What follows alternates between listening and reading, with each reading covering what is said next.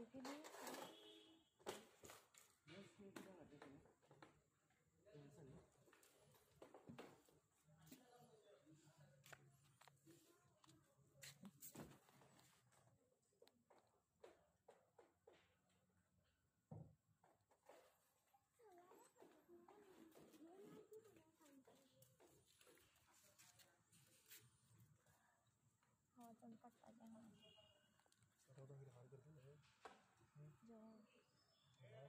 फिर हार करते हैं जो उधर पार करे उधर